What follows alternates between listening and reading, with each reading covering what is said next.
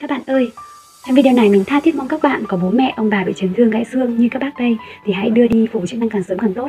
Đây là một trường hợp gãy đầu dưới xương quai tay bên phải, rất hay gặp ở lứa tuổi tầm trên 50, nhất là ở phụ nữ vì giai đoạn này loãng xương. Người, người trẻ như chúng ta ngã, trượt chân thì không sao, nhưng mà các bác các cụ ngã thì loãng xương chúng tay rất hay gặp gãy ở những điểm này. Nhưng hầu hết mọi người, nhất là ở quê hương, thường nghĩ bị gãy bó bột tháo bột là xong. Nhưng trên thực tế ờ, hầu như sau bó bột thì bao giờ gân cơ dây chẳng phần mềm xung quanh cũng bị co cứng nhiều vùng vùng còn phù nề. Không tập thì rất dễ trở thành cứng khớp.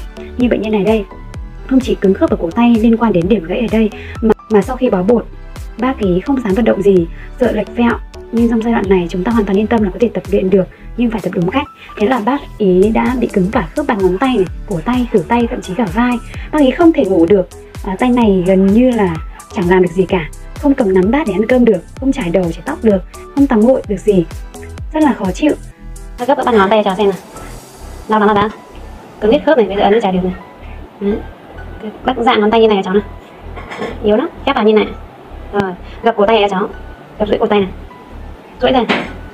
Nghiêng trái nghiêng phải. Xoay một vòng. Sắp nửa sắp xuống. Đau đúng không? À. Khớp hiểu tay các cho cháu này Đấy, cứng hết khớp hiểu tay luôn. Khớp rỗi rất yếu. Okay. Nói chung là rưỡi thì được gần hết tầm gấp chỉ được 90 độ. Cứng khớp ra đau. Vai bây giờ đang không đang được á được thế rồi đúng không? Đây nữa là đau này rồi.